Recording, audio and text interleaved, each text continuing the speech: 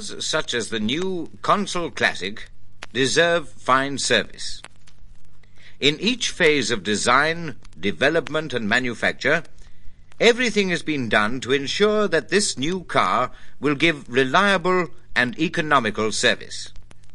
But you all know the key to customer satisfaction is service. That key is now in your hands. This film introduces the Consul Classic to you as service personnel, so that you may have a brief glimpse at the major differences between this new model and previous models. It will give you a brief insight into servicing the major components, so that you will have advanced knowledge before going to the Ford Service School at Langley. A total of 17 service bulletins, of which three cover bodywork give detailed information of both two and four door models with either floor or column gear change. Also available are a repair operations book, a data book, wall charts, and of course the owner's handbook which is supplied to the customer. In addition to this information, there will shortly be mechanics courses at the service school. I will briefly introduce the main features then the instructor will give more detailed information. Broadly speaking, the body size of the Consul Classic can be compared with our previous Mark I Consul, or our competitors Vauxhall Victor, Hillman Minx, or the Opel Rekord. Now, down to business. Mechanically, the Consul Classic can be regarded as the big brother of the highly successful Anglia. From outside, the engine appears to be the same as the Anglia. It is in fact similar, except for the pistons, lower compression rings, connecting rods and crankshaft, the cylinder head and the timing chain tensioner. Other components are the same as the Anglia. Two cylinder heads are available, giving different compression ratios.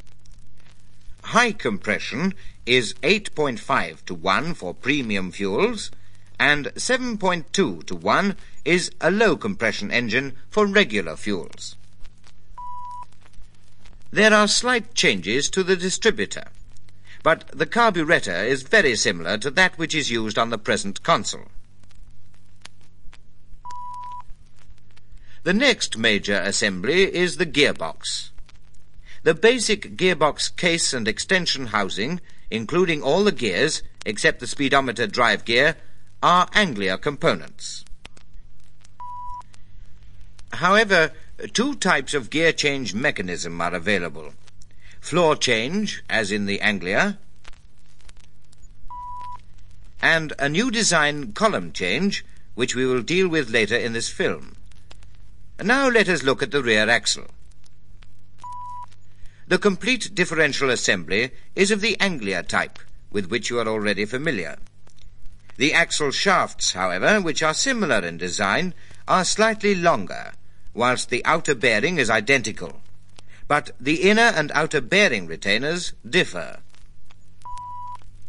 Remember, too, when renewing this bearing and its inner retainer, that a higher load figure must be used to press these parts onto the axle shaft. See the appropriate service bulletin for this information. How about a look at the braking system?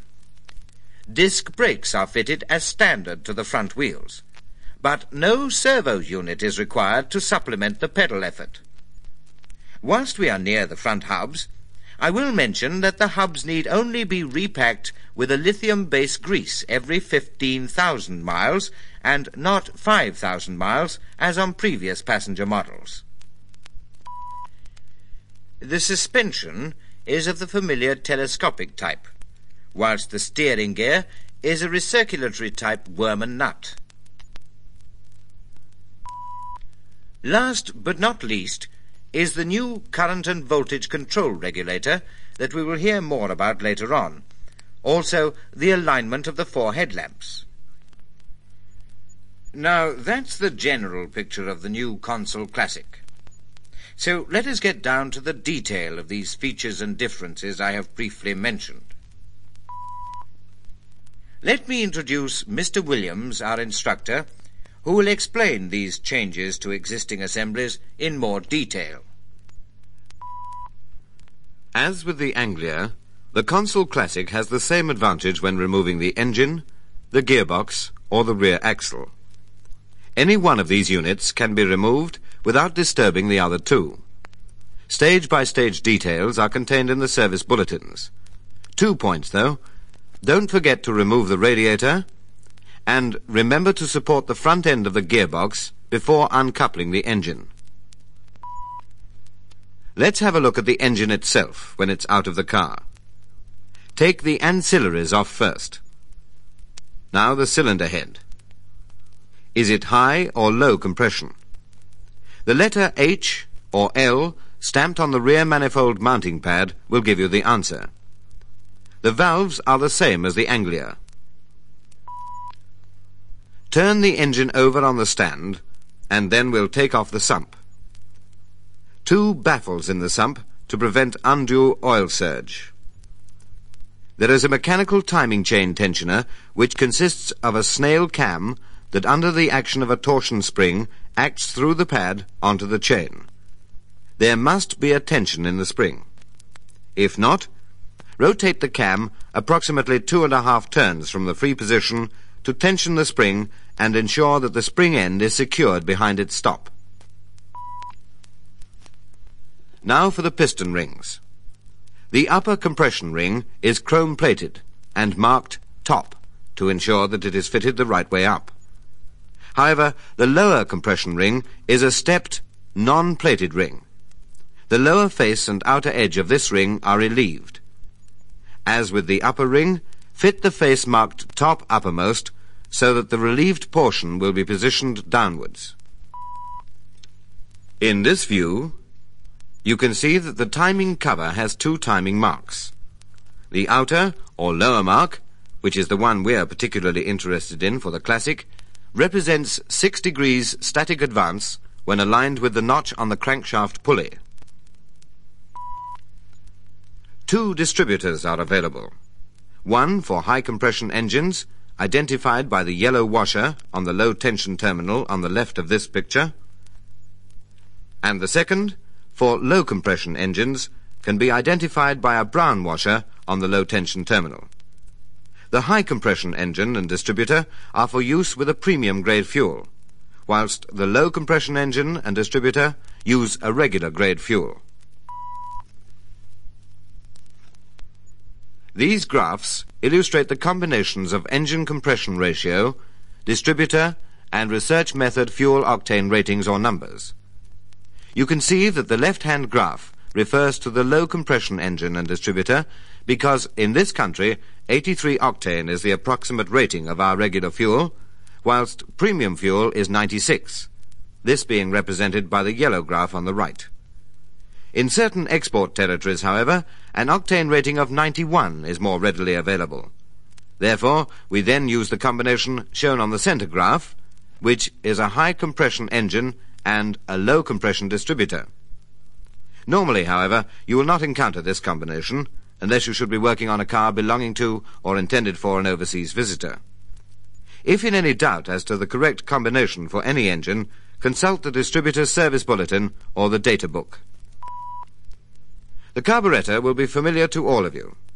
Basically, it is similar to that now fitted to the Mark II Consul. But all the jet sizes differ. The classic carburettor also has an internally vented float chamber. but the main difference is to the emulsion block. You can see from this illustration that a small brass dip tube is pressed into the emulsion block, a small drilling connecting this to the atmosphere side of the main air bleed. The purpose of this dip tube is to slightly increase the quantity of fuel supplied to the emulsion block beak at higher engine speeds. When the air speed is sufficiently high through the main air bleed, fuel is drawn up the dip tube and discharged through the small bleed hole shown into the airstream passing to the well above the main jet. Now to the gearbox and the gear change mechanism. Here we see the steering column gear change. Whereas the Mark II Consul has the gear lever spring-loaded, so that when in neutral it is adjacent to the second and third gear positions, this linkage on the Classic is aligned with third and top gear positions. It is first necessary to select the appropriate selector shaft. Then move this selected shaft forwards or backwards to mesh the gears. This is done by two distinct movements of the gear lever. To amplify this, select first gear. The gear lever is pulled up towards the steering wheel. This can be seen by the green-coloured linkage on the screen. You will see that the shift finger has moved from the central selector shaft over to the first and second selector shaft on the right. To mesh the first gears, or to shift them, look at the diagram coloured red. This rotary movement is transmitted through the linkage and ends with the first and second gear selector shaft being moved or shifted to the rear, engaging first gear. In this picture, these two operations are combined to give you the exact representation as can be seen on the car itself.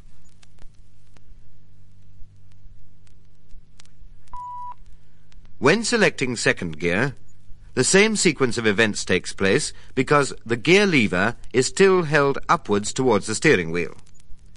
However, on the shift side of the operation, shown red on this picture, this time the gear lever is moved away from the windscreen Therefore, the shift linkage is moved in the opposite direction. But due to the fact that the shift finger is still located over the first and second gear selector shaft, the selector shaft is moved forward, so engaging second gear. No movement of the gear lever towards or away from the steering wheel is required for third and top gear, because when in neutral, the gear lever is held down by a small spring and the shift finger is located in the third and top gear gate. Therefore, movement of the shift linkage only is required. No adjustment is provided for the linkage that meshes or shifts the gears. For the linkage which engages the selector shaft, an adjustment is provided, and this must be properly set. With the gear change lever in the third and top gear position, the shift finger must be in the center of this third and top selector shaft. The top right-hand diagram shows the shift finger, colored green, incorrectly positioned. But below in the other diagram, it is correct. If it is possible to engage all gears, then the selector linkage is set correctly, and the shift finger is located in the center of the third and top selector shaft. If all gears cannot be obtained, place the gear lever in third or top gear.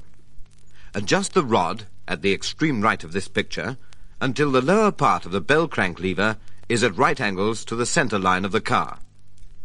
Now adjust the two lock nuts on the transverse selector rod at the left of the diagram until there is a clearance of 0.4 inches between the steering gear housing and the gear shift arm, as shown here. Check that all gears can be engaged.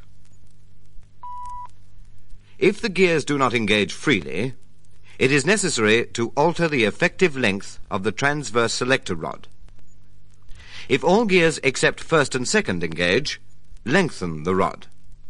Turn the lock nuts two turns to do this and recheck. Continue to lengthen the rod two turns at a time until first and second gear can be engaged. If, however, it is found that reverse gear cannot be engaged, then the transverse selector rod must be shortened in a similar manner. When all gears are obtainable, tighten the lock nuts. In principle, the clutch release mechanism is similar to the Mark II, and clutch adjustment may be carried out in the same manner. However, the release arm on the Classic is retained to the fulcrum pin by means of a spring, which is shown in this illustration.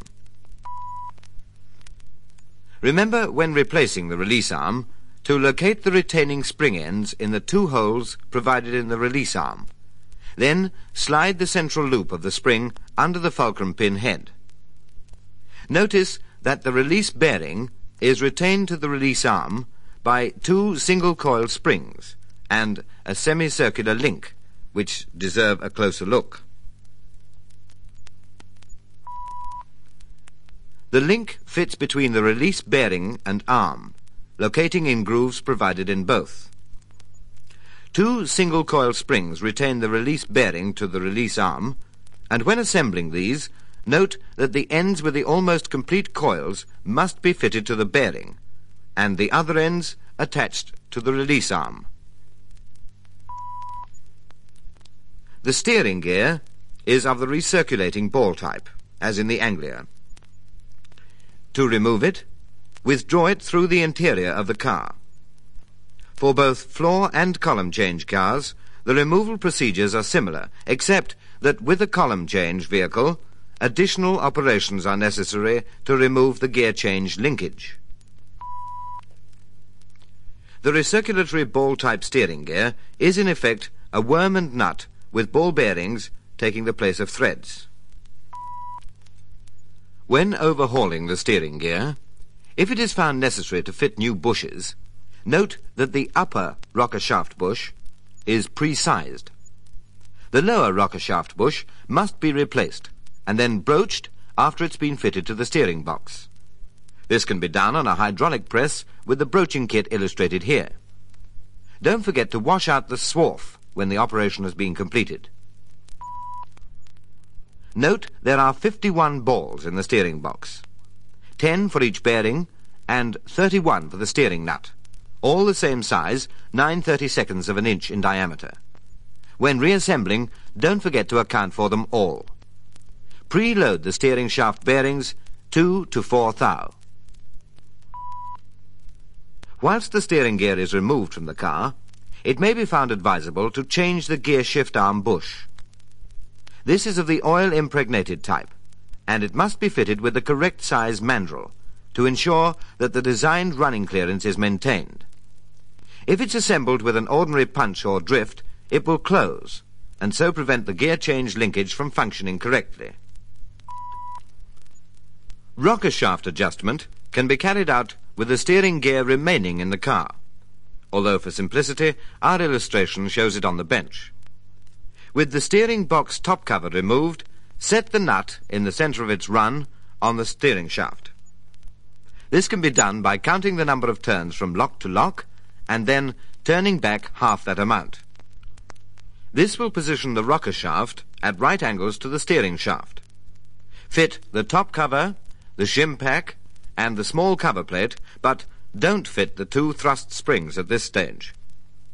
Check the rocker shaft end float by dial gauge as shown. If necessary, removing shims to reduce this end float to 2 thou.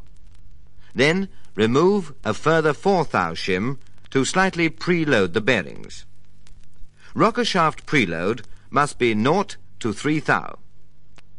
Now remove the small cover plate, refit the two thrust springs, and replace the small cover plate shims and gaskets.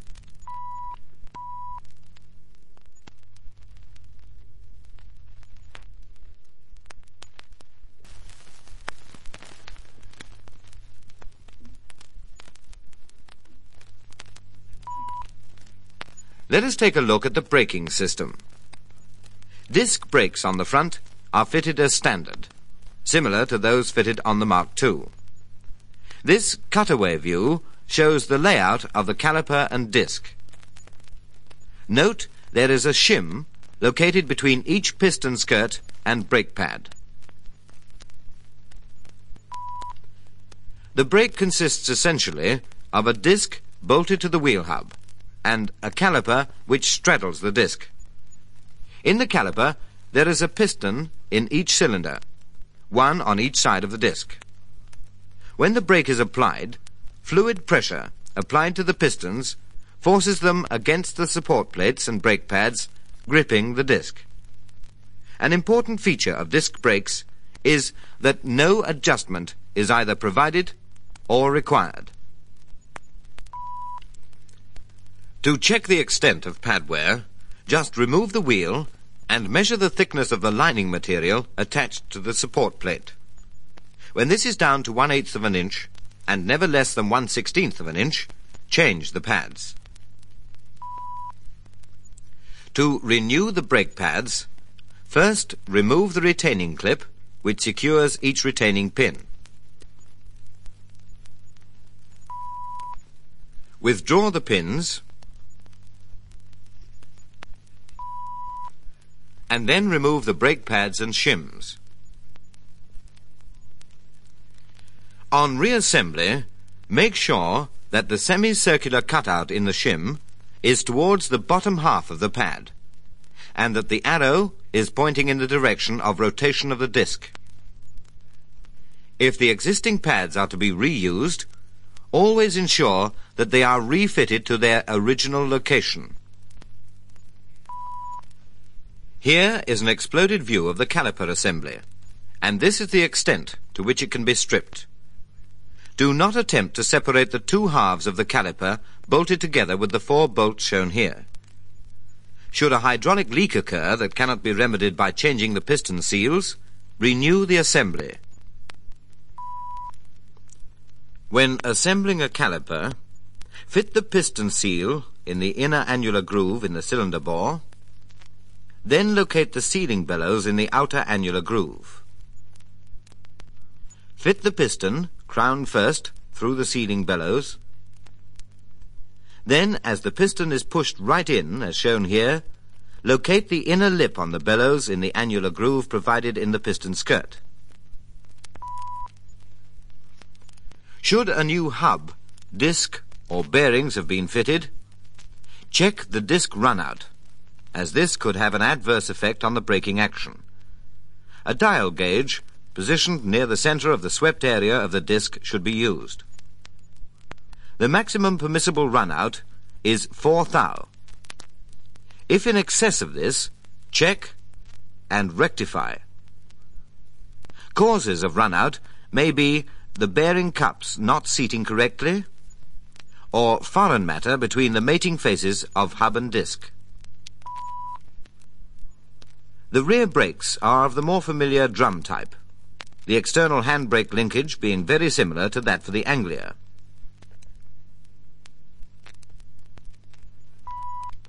The adjuster is the usual wedge and tappet arrangement, where the adjuster wedge is turned clockwise to lock the drum. Turn back two clicks to obtain the normal running clearance.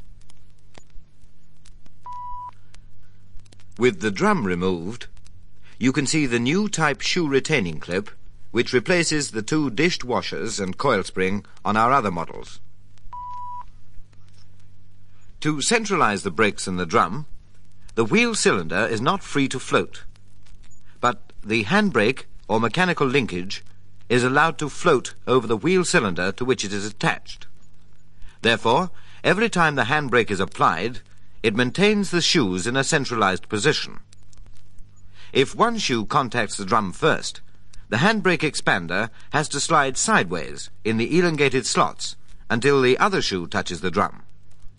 Those of you who know the Mark I Consul and Zephyr will be quite familiar with this system. These are the parts that comprise this handbrake expander assembly. Note the slotted or elongated holes. Also, the stop pegs to limit the tappet travel. Remember, after assembling the handbrake expander to the wheel cylinder, the expander must be free to slide relative to the wheel cylinder. If it is not free to slide, it could mean incorrect brake adjustment, and on application of the brakes, only one shoe would come into contact with the drum. A rear wheel cylinder is shown here. To be particularly mentioned are the pistons. They have similar spigots at each end, but the longer spigot is the one to which the piston seal must be fitted, and this spigot is entered into the wheel cylinder first. The master cylinder for this car has a reservoir of extra large capacity.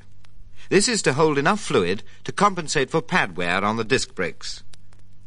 Although the piston has two piston seal grooves, only one seal is fitted to the forward end of the piston. When bleeding the hydraulic system, always start with the front brakes. First, bleed the caliper having the shorter pipeline. Then the caliper on the opposite side of the car. There are only three bleed points on the car, the last being on the left-hand rear backplate. Before we leave the braking system, again note there is no servo unit required on this model. The front lighting. This consists of four headlamps and two side lamps. Each headlamp is a sealed beam unit consisting of a bulb, lens, and reflector. When the main beam position is selected, all four headlamps are on. When the dipped beam position is selected, only the two outer headlamps are on. To remove a sealed beam unit, remove the crosshead screws at the side of the headlamp outer bezel and rotate the bezel slightly in an anti-clockwise direction so that the locating pin in the bezel disengages from the corresponding hole in the mount. The outer bezel can now be removed. Slacken the three crosshead screws securing the outer rim to the body, turn the rim slightly in an anti-clockwise direction, and remove. The sealed beam unit can now be moved forward from its location, and the plug, 2-pin on inner lamps, 3-pin on the outer lamps, removed. To replace the unit, reverse this procedure. Two adjusting screws are provided on each headlamp. The upper screw adjusts the beam vertically, and the lower screw adjusts the beam horizontally. In order to obtain access to these screws, the outer bezel must first be removed. Each headlamp is aligned independently by adjusting the beam pattern on a darkened board size 35 inches by 16 inches. To align the headlamps, the car must be unladen and standing on level ground. Bounce the car to ensure correct settlement of the suspension, and then measure the height h from the ground to the headlamp center. Position the aiming board 10 feet from the headlamps and adjust the board so that the horizontal dividing line is h minus half an inch above the ground and the vertical center line is aligned with the vertical center of the left-hand outer headlamp. Switch onto dipped beam and cover the right hand outer headlamp. By means of the two adjusting screws on the left-hand outer headlamp, adjust the position of the dark light boundary projected until it coincides with the board pattern now shown. When the dipped beam has been adjusted, the lamp can be considered correctly set for the main beam position. Repeat the procedure for the right-hand outer headlamp using the same board pattern but in its new location in front of the right-hand lamps. Switch to main beam and adjust in turn each inner headlamp, at the same time covering its adjacent outer headlamp. Using the aiming board with the main beam pattern, position the board with the horizontal dividing line as previously, and with the vertical dividing line aligned with the vertical center of the inner left-hand headlamp. Adjust the beam until the dark light boundary coincides with the board pattern shown. Repeat the procedure for the inner right-hand lamp. On the extreme end of the direction indicator switch is the headlamp flasher control. Irrespective of the position of the normal lighting switch, operation of the flasher control will illuminate all the lights at the front of the car. To replace a side and front direction indicator bulb, remove the two screws securing the lens to the body, after which the lens can be removed and the bayonet-type bulb replaced. When fitting the lens, make sure that the gasket is positioned evenly. Now to the regulator. This is mounted below the fascia on the left-hand cowl side panel.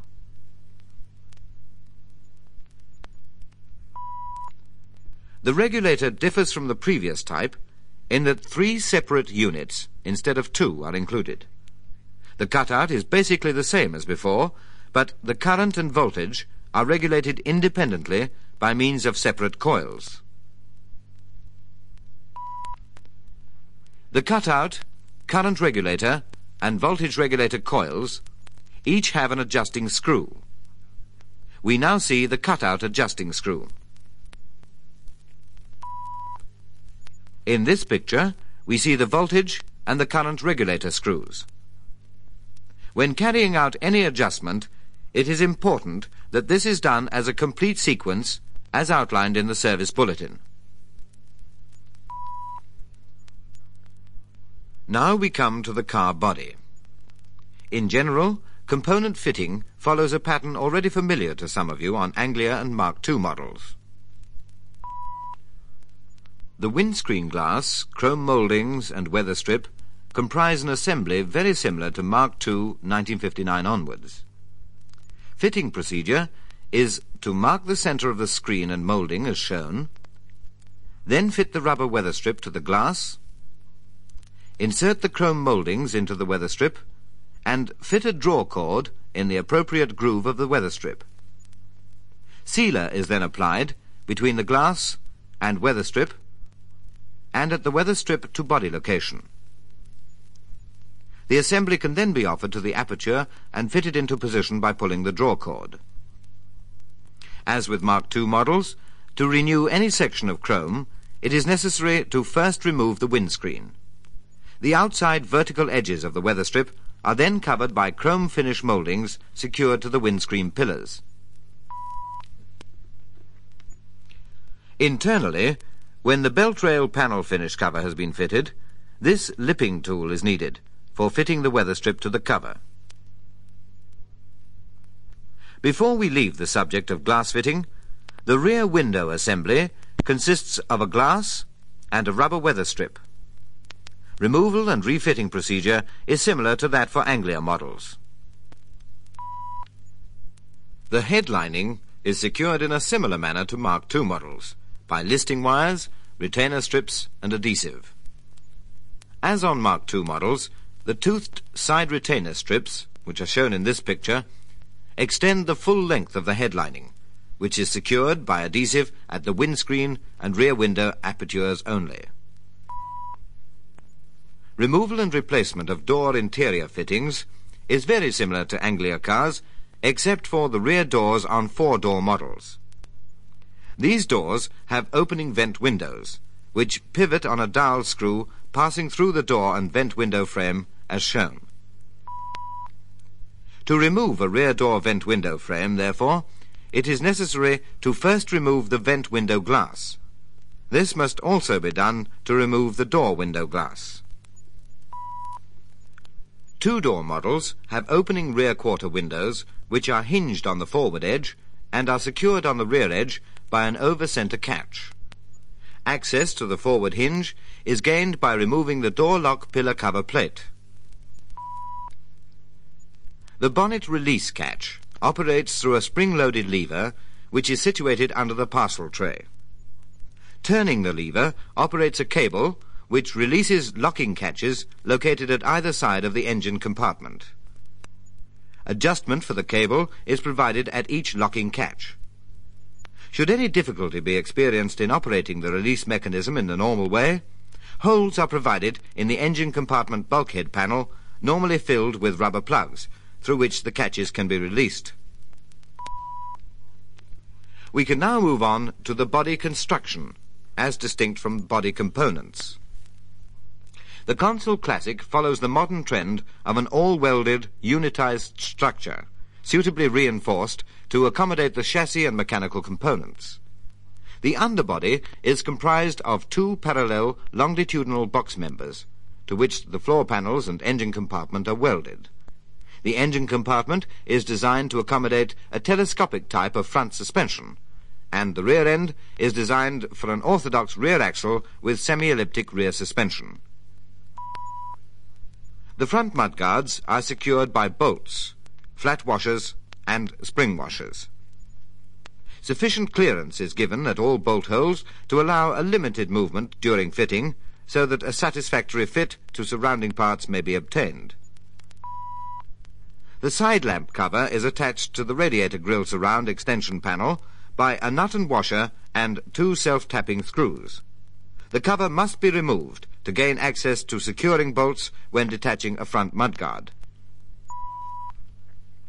To prevent unsightly mud stains on the upper bodywork, all jointing faces of the front mudguard to surrounding body sections are sealed with a water-resistant bulk sealer. In addition, the joint lines of the side lamp cover are also sealed and are painted to match the body colour. The rear quarter panels in the areas below the rear window level are secured in a similar manner to previous cars. However, the Consul Classic rear quarter panel extends only to a line level with the lower edge of the rear window. At this point, the panel is gas welded at each side to the underlying body structure. The body section at this point, between the rear quarter panel and the roof panel, is covered by an applique or planton plate, which also covers the gas weld joint we've just mentioned. This is a feature which will prove of great value to the body repair shop, since it will facilitate panel replacement in accident damage repairs. Regarding lubrication and maintenance, longer periods between services for certain components is a new feature. Some items are removed from the usual 5,000 mile service, and a 15,000 mile service has been introduced instead. The items which require revised attention are 1. Change gearbox and rear axle oil at 15,000 mile intervals. 2. Repack the front hub bearings with grease at 15,000 mile intervals. And 3. Top up the front and rear shock absorbers at 15,000 mile intervals. There are 11 grease gun points on the car which must be lubricated with a multi-purpose lithium-based grease at every 1,000 miles. It is usual to lubricate these points when a new car comes in for its first 300 mile service. However, with this model, at the first 300 mile service, do not lubricate the four track rod ball joints, shown here. They are packed with a special grease that should be left undisturbed in these ball joints during the first 1,000 miles. Where a steering column change is fitted, this linkage must also be lubricated with a lithium-based grease at 1,000 mile intervals. There are three oil-impregnated bushes which must not be lubricated, and their location is shown in this picture.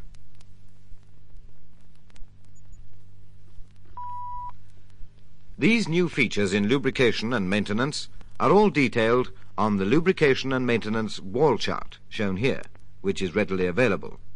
These details are also included in the owner's handbook supplied with the car. Make sure that you are quite familiar with these new instructions before working on a vehicle. That concludes our film. As we remarked at the beginning, our objective has been to highlight the important servicing aspects, and in particular those points which differ from previous practice. Remember, the degree of satisfaction which the owner gets from his Consul Classic will, in the final count, depend on the service he receives, the service which you give. So take full advantage of all the service information and training available and back us up in making service our strongest link.